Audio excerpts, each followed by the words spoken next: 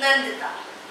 नंदिता सहानी। इस कॉलेज की नई शान। इस कॉलेज ने मुझे नहीं, मैंने इस कॉलेज को चूज़ किया।